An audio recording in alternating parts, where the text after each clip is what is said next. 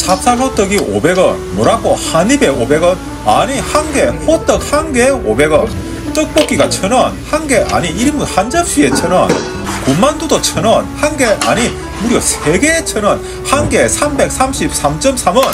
보리식혜는 또 뭐고 함 사무보가 이것도 한 병에 1000원. 언빌리버블 이게 말이 됩니까 세상에 호떡 천 원도 너무 싸서 팔아서 남는 게 있나 싶었는데 유튜브에 어느 분이 댓글로 온천장에 천일 녹집에 가면 내참 분식집 이름이 또 천일 녹집이 뭐고 500원짜리 호떡이 있다 하길래 설마 요새도 찹쌀 호떡 아닌 싸구리 밀가루 호떡 파는 데가 있나 싶어서 일부러 점심시간 조금 지나서 일반 식당들 break time 할때좀 가봤는데 우와 사람들이 앞에 바글바글 하는데 지금 생각해보면 주변 식당들에서 밥 먹고 디저트 먹으러 오는 분들이 많은 것 같습니다. 뭐 비집고 들어갈 틈이 없네요. 겨우째 들어가서 딱 보니 호떡도 하나도 없고 떡볶이도 다 팔리고 사장님이 이제 호떡 떡볶이 새로 만들려면 시간 많이 걸립니다 하니 사람들이 하나둘 가버리고 손님이 내 혼자 남아있네요. 이거 뭐 이러다가 오늘 해 떨어지기 전에 호떡 먹고 집에 들어갈 수나 있을지 모르겠네요. 아, 그래. 뭐 남는 게 시간이니 내 기다려는 드릴게 했는데 이거 뭐 떡볶이 만드는 동안 어디 좀 갔다 오라 하는데 딱히 갈 데도 없고 해서 뭐 할 짓이 없는 기라.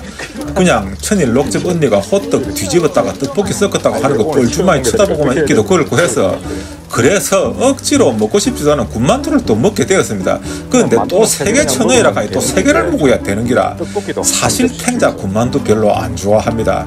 그래서 중국집에서 군만두 서비스로 주면 제일 싫습니다.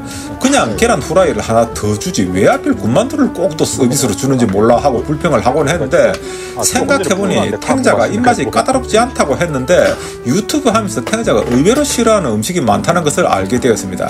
칼국수 싫어해 수제비는 극혐해 군만두도 별로 안 좋아해 떡볶이도 사실 정말 싫어하는데 그걸 먹어야 유튜브 영상 길이가 좀 나올 것 같아서 억지로 또 시켰습니다. 군만두를 먹으면서 세상에 탱자가 살다 살다 별일이 다 있네 싶었습니다. 군만두를 먹어본 기억이 올 초에 개화로 중국집에서 탕수육을 시키는데 군만두를 같이 주길래 잔반 윤리 심의규정 준수를 위해 억지로 먹어본 것 말고는 먹어본 적이 없는 것 같고 이렇게 분식집에 파는 군만두 먹는 것은 태어나서 처음이 아닌가 하는 생각도 드는데 아 이게 또 생각보다 맛있네요.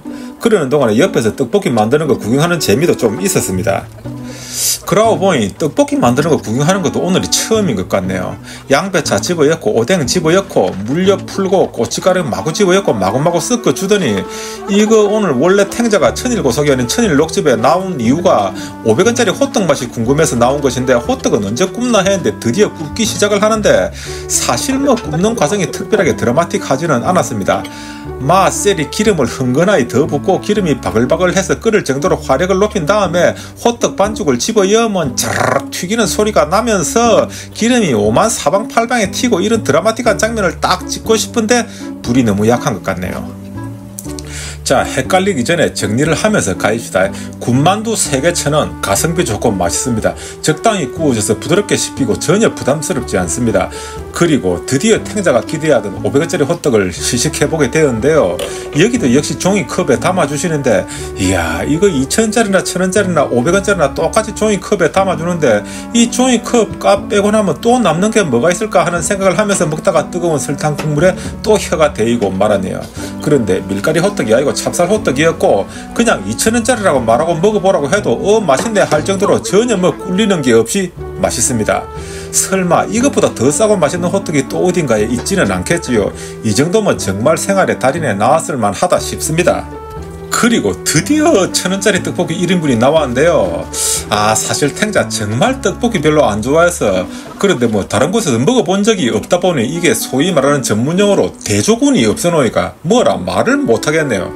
떡에다가 고추장을 발라 놓으니 씹기도 전에 미끌미끌 꿀떡꿀떡 목구멍으로 잘 넘어가서 순식간에 먹어 치우기는 했는데 이게 맛이 있는 것인지 없는 것인지 솔직히 모르겠습니다. 그렇다 보니 양이 적은 게 다행이라는 생각까지 들었습니다. 군만두 3개 먹고 호떡 하나 먹고 떡볶이 1인분 먹고 보리식혜 2병과 호떡 5개 테이크아웃하고 7천원 결제하는 데까지 세상에 분식집 앞에서 탱자가 30분을 서 있었네요. 원래 한 건 더 하려고 했는데 시간이 너무 지체돼서 바로 치과로 돌아와서 싸운 호떡을 잘 식하 먹으려고 이렇게 널어두고 단돈 7천원으로 점심 저녁 두 끼를 해결을 잘 했습니다. 어떻습니까? 탱자의 오늘 이야기는 여기까지입니다. 지금이 저녁 8시 반인데 아직도 배가 부르네요. 이것으로서 균 잡힌 지역경제 발전에 이바지하고 잔반 윤리 심의 규정을 준수하는 탱자의 산 넘고 물 건너 바다 건너시 온천장에 500원짜리 은빌리 배불한 호떡 집차시 이야기 마치고 다음번에 더욱더 재미있고 신나는 맛집 이야기로 찾아뵙겠습니다. 감시합니다. 진리와 탱자였습니다. 이 만두 이거는 어디에 찌, 찍어 먹는 겁니까?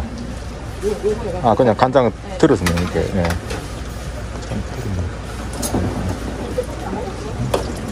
거기다 놓으시면 아, 안 아, 돼요. 아, 아, 이거 기름 튀는 길에. 그렇죠. 위험하다니까. 아니 그래 오늘 처음 온 거니까 어떻게 해야 될지 모르겠어요 사람들이. 예. 그냥 만두는 세 개 그냥 먹으면 되는 기지. 예. 떡볶이도 한 접시 주이소. 기다리세요. 뭐야? 기다려야 돼. 아유, 죄송합니다. 응? 응? 아까 내가 푸근한 게 어, 어디 갔지? 아, 아, 조금 전에 푸근한데 갖고 가시는가 봐 보여.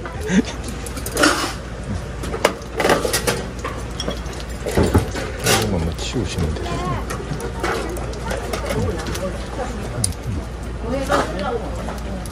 떡볶이 1인분 하고요. 떡볶이 기다리셔야 돼. 기다려야 돼요. 예. 조금만 갔다 오시면 안 되세요. 아니면 그냥 물떡 두 개랑 물떡도 조금 기다려. 기다려야 돼요.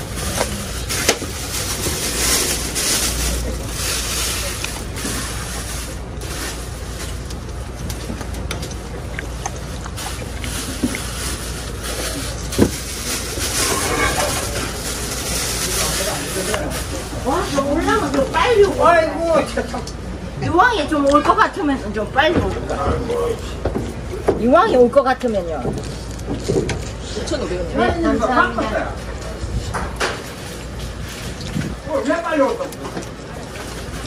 이왕에 올 것 같으면 됐어요.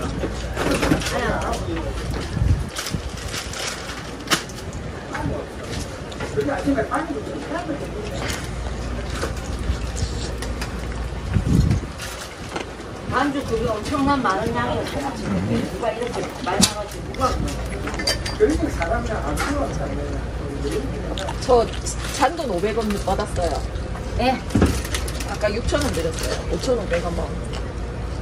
그 얼마 내드려야 돼? 500원이요. 500원 이제 항아리에 좀 가져왔어요.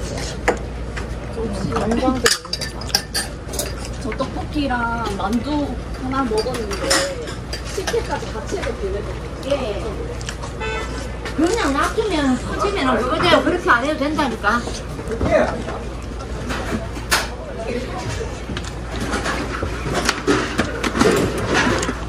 아줌마 바빠다 이것도 뽑으려면 오래 기다려야 된다 차라리 이거 쉽게 500원에 받아가자 호떡 먹고 싶어. 그러면서. 그것도 먹고 싶다고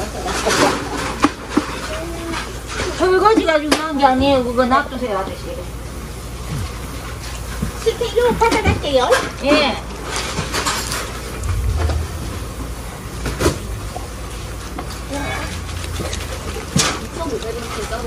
네, 감사합니다.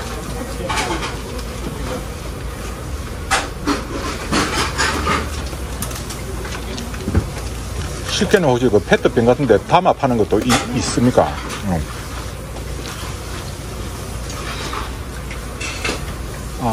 500ml 한병 있네.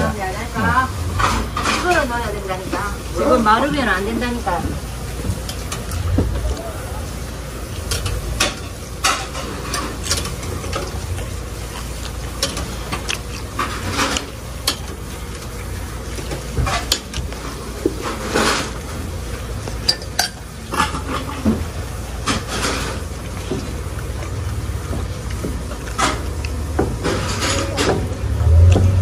지금 이거 대락하면 한 몇 분 정도 걸립니까? 예? 이거 지금 대락하면 몇 분 정도 걸립니까? 걸려요. 예. 이거 그럼 끝나고 호떡 구워 주시는 거예요?